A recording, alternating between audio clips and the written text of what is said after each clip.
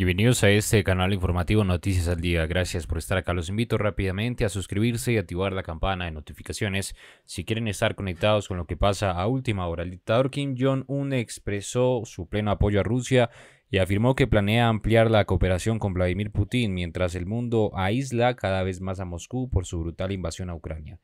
El norcoreano emitió un comunicado en el que resalta la larga historia y tradición de amistad entre ambos países. No olvide dejar un comentario en este video y me gusta también para apoyarnos. Muchísimas gracias. El dictador de Corea del Norte, Kim Jong-un, ha expresado su pleno apoyo al presidente de Rusia, Vladimir Putin, coincidiendo con la celebración del Día Nacional de Rusia que conmemora el aniversario de la declaración de soberanía rusa proclamada en, en los 90.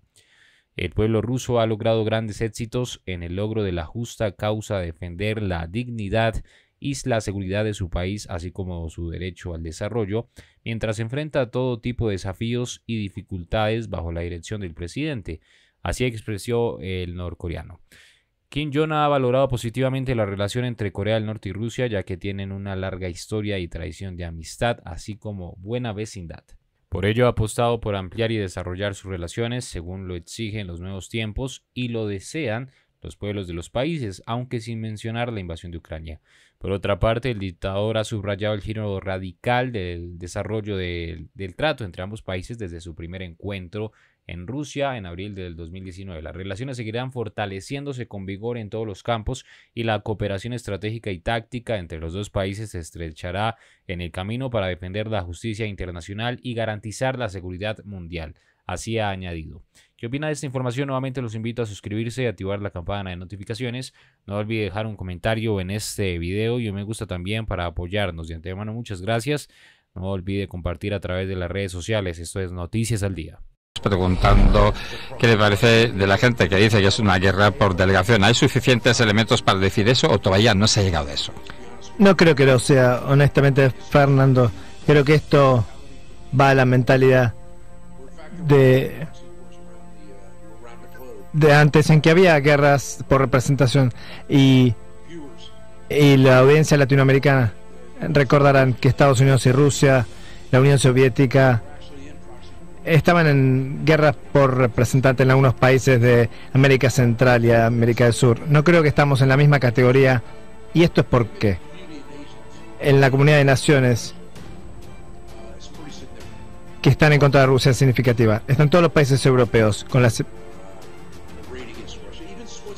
hasta Suiza se ha involucrado. Esto ha dicho que esto no debe continuar, esta agresión no debe continuar.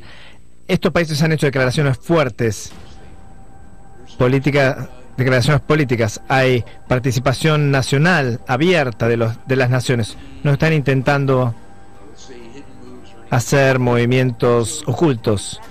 En una guerra por representantes que son guerras en la, en la oscuridad en que los estados patrocinan o la Unión Soviética Estados Unidos mantuvieron sus manos, por así decirlo, ocultas o sin que se supiera en general en la zona de combate. Aquí es claro que el Estado y el Estado hay participación así. Rusia es el agresor, invadió un país que estaba haciendo lo suyo pacíficamente a pesar de la propaganda que sale de Moscú y los países de Occidente y otros países en el mundo han salido a su defensa. Es interesante que los países en América Central y del Sur han votado en favor de Ucrania y Naciones Unidas. También es interesante que en la ONU, Kenia, una ex potencia colonial, dijo, ¿por qué Rusia no debería estar en el negocio de cambiar fronteras internacionales? Es un discurso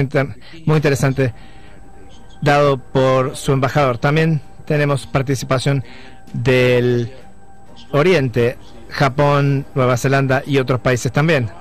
Así que no creo que sea una guerra por representantes en el, en el sentido clásico de lo que ocurría en la oscuridad durante la Guerra Fría.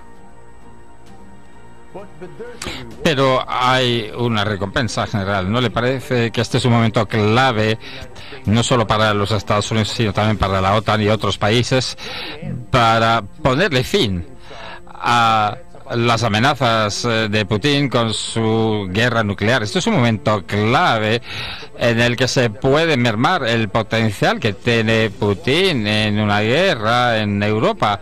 ¿No le parece que eso podría ser una recompensa y que deberíamos eh, tener la ambición de no solo proteger a Ucrania, sino también poner fin a Putin? Sí, el aventurismo de Putin, Fernando, usted hizo una mencionó un punto muy importante. Estoy de acuerdo. Deberíamos terminar con el aventurismo de Putin en este caso. Esta es la primera guerra de Estado contra Estado prolongada que Rusia ha tenido desde el final de la guerra, la Segunda Guerra Mundial. Su invasión a Afganistán y Georgia fue algo más pequeño, pero esta es una guerra completa de Estado contra Estado. Hay un par de cosas en juego. Primero, y principalmente cada día que Putin pasa en Ucrania se debilita. Cada día que Rusia pasa en Ucrania, Ucrania se vuelve más fuerte. Lo que quiero decir es que los aliados y las armas provistas por los aliados, a la, a la vez que Rusia baja, Ucrania es construida en cuanto a armamento, gente que ha tomado armas contra Rusia. Hay una disparidad de cifras que ocurrirá en algún punto. El otro punto que ocurre del lado internacional es que Rusia está siendo debilitada gradualmente. Si ve lo que ocurre, su economía se achica. Creo que irán a serios problemas económicos comenzando en junio. Lo que quiero decir es que van hacia una depresión. La economía colapsa, el rublo pierde valor, la gente no puede comprar para los bienes básicos, alimentos, eso comenzará a apretar a, partir de junio. Tendrán dificultades económicas serias. Eso creará problemas de relaciones dentro de Rusia y afectará sus relaciones internacionales también, en que Rusia Rusia no podrá pagar por los bienes que trafican dentro del país. Habrá sanciones, serán dejarán de ser un socio comercial viable. No podrán pagar por las cosas, así que esto tendrá un efecto en cascada con el tiempo para Rusia. Estarán amenazados como nación viable si siguen buscando esta guerra.